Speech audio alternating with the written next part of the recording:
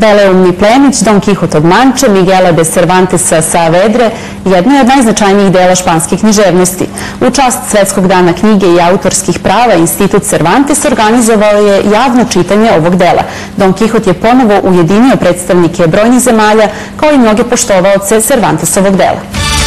Alonso Quijano, 50-godišnji plemić, živao je u malom mestu u pokrajini La Mancha. Uronivši u fantastični svet viteških knjiga, mozak mu se osuši i pamet pomuti, pa odluči da obnovi drevno viteštvo. Nesakidašnji roboti nazvani Miguel de Cervantes i Nao otvorili su javno čitanje Don Quixota na najrazličitijim jezicima sveta.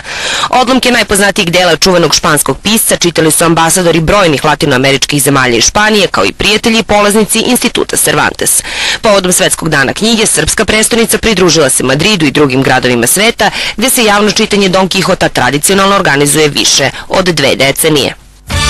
Naš gost sa kojim razgovaram o jednom od najznačajnijih dela svetske književnosti je direktor Instituta Cervantes u Beogradu, Enrique Camacho Garcia.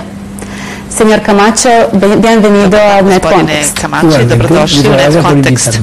Hvala vam što ste me pozvali. Da li možete da nam otkrijete tajnu zašto je Don Quixote od Manče toliko popularan danas toliko čitan i prevođen nakon četiri veka od svog objavljivanja. Prije važne su dva, dve stvari. Don Quixote je bio veoma popularan kada je se pojavio 1605. godine i odmah se bi preveo na brojne jezike svete i verujemo da ga je čak i Šekspir mogao čitati na engleskom jeziku 1612. godine. Ali ono što je najvažnije da je to prvi moderni, moderni roman u svetskoj književnosti.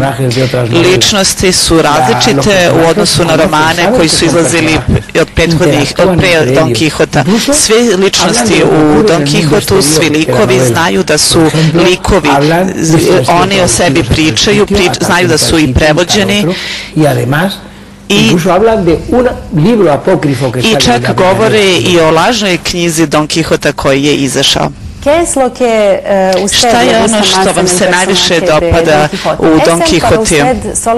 Da li je on za vas samo jedan smiješni čovečuljak Alonso Quijana ili jedna zapravo eh, tragična figura? Eh, Verujem da, da je ono najvažnije los ideales, los da, da je najvažnije za Don Quixota je to što on ima ideale, što on veruje u slobodu i da bori se za pravdu. I reći ću vam još nešto. I on se borio i za prava žena, ne znam da li to znate.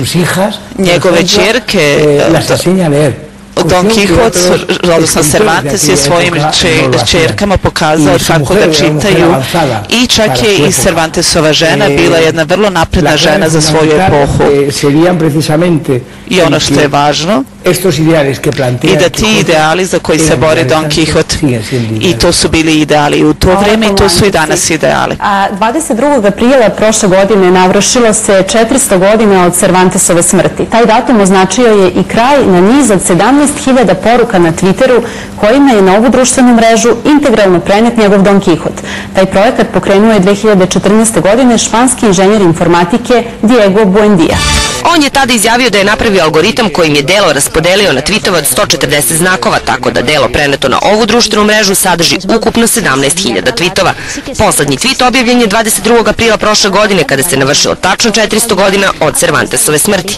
Tweetovi romana su obogaćeni fotografijama vetrenjača i različitim slikama na temu Don Quixote i Sancho Panse. Buendijina ideja nije nova na Twitteru. Tako su tweetovani i dnevnici Lava Tolstoja i poslednjeg ruskog cara Nikolaja II, kao i beleške Antona Pavlovića Čehova i Fjodora Dostojevskog. Senjor Camacho, qual frase, qual pensamiento koja je vaša fraza, misao iz, i omiljena iz romana i zašto? I govorimo, nastavljamo da govorimo, pričamo o onome što smo već pričali. Moja omiljena fraza da se za slobodu i za čast mora i treba boriti u životu. Sada ćemo da prokomentarišemo određene fraze iz romana i vi ćete mi reći da li su one aktuelne i danas ili ne. Por ejemplo, más vale el buen nombre više vredi časno ime nego veliko bogatstvo. Eh, seguimos igual que hace 400 años. Isto je kao i pre 400 godina. To vredi i pre 400 godina je vredilo i danas i vredi. Šta, naj, šta najviše, najveće bogatstvo je zapravo imati časno ime i boriti se za druge. Ova fraza, potpuno se slažem da je ova fraza vrlo aktualna i danas. Računaju se samo trud i napor, a ne cilj. Mira, voy a contar una anécdota pequeñita. Ispričat ću vam jednu malu anegdotu. Maratón na maratonu, na maratonu nije važno i niko ne vas ne pita na kojem, koji ste po redu, već vas samo pitaju da li ste završili maraton. i to je vaša najveća vrednost. Uraditi nešto i truditi se, a ne na kom ste mestu. Marljivost je majka sreće. Šta, radi, šta kažete vi? Mi imam, ne ostavljajte za sutra ono što možete da uradite danas. Uradite ono što ste zamislili, a sada ne ostavljajte za sutra, posle godišnjeg odmora, uradite ono što možete sada, u ovom trenutku. I to, to smo govorili pre 400 godina i to govorimo i danas. Más vale la pena en el rostro que la mancha Viš, en el corazón. Više boli mali ožiljak na srcu nego na licu. Unutrašnji bolovi su, eh, su jako jaki i više bole od fizičkih povreda. Fizičke povrede se lako mogu zalečiti, ali unutrašnje povrede se ne mogu zalečiti. I to nam još, još jednom potvrđuje da je Don Quixote se može čitati i 400 godina nakon svog objavljivanja. Don Kihot je vekovima već inspiracija brojnim umetnicima. U Novom Sadu održana je premijera predstave Don Kihot ili šta su danas vetrenjače i odakle vetar duva.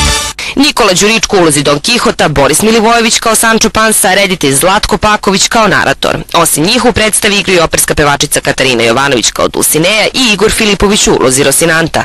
Inače, nekoliko dana pre premijere stigla je najava da će zbog navodnog nedostatka novca ona biti otkazana, ali je kasnije u oči Pakovićevog gostovanja u našem programu odlučeno da predstava bude vraćena.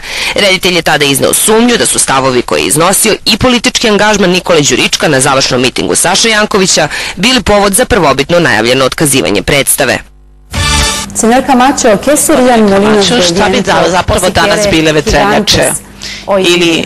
Što... Pues efectivamente, el poder. E, to je pre svega moć. moć borba protiv moćnika. Don Quixote se zapravo borio protiv moćnih i protiv... Šta su to zapravo moć? Gde se oni nalaze ti moćni? U svuda u svetu? U kojim, u kojim oblicima? Treba se svakodnevno boriti protiv moći, protiv ljudi koji imaju moć. Treba se boriti za pravdu. De, de, de ello es por lo que lucha. I treba se uvijek boriti. Don Quixote se sam borio protiv moćnih ljudi, a ne protiv vetrenjača. Da li se teško boriti? En muchos países, sí. U velikim brojem zemljama, da, jako je teško boriti se. En la misma lucha contra esos Emisiju završavamo slikom jedinstvenog prijateljstva Don Quixota i njegovog vernog Sanča Panse. Slušamo deo pesme Don Quixote i Sančo Pansa Rambama Deusa. E moj Sancho, ljudi niski duhom za vino i slaninu Lako po potrebi mijenjaju doktrinu I kad su na pravoj strani njima je blisko Da udare ispod pojasa, nečasno nisko Ali u boju zadržati vrlinu Vitezu pravom predstavlja suštinu Zavladati ovu plemenitu vještinu Mnogo je teže jer moral steže. Oni su toliko različiti, a opet imaju dobre odnose kada govorimo o Don Quixotu i Sancho Pansi. Todas las diferencias entre ellos, cada uno Sva, razlike između njih dvojice je zapravo samo različiti oblici jednog te istog. Jedan je više realista, drugi je više idealista. Ali se sećam, na primjer, na kada su osvojili jednu teritoriju i kada su Sancho proglasili da mora da rukuje, da vodi tu, tu ideo teritorije, kao što je i Don Quixote to već radio. I on je želeo i Sancho Pansa da deli pravdu i oni se jako, i oni se jako dobro slažu i često u romanu menjaju svoje uloge. Koji su to zapravo ideali koje u ovom romanu vidimo i koji nikada neće zastarati, zastarati koji su aktualni i danas? Don Quixote, Don Quixote como ideal de caballero. Je imao ideale, viteške ideale i borio se protiv sveta i bori se protiv društva u kojem je živeo.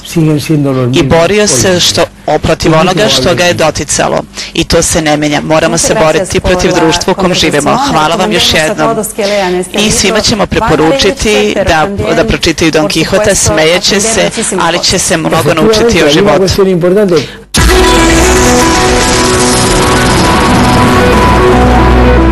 Pratili ste Net Kontekst, ostanite i dalje uz naš program, želimo vam prijatan nastavak dana.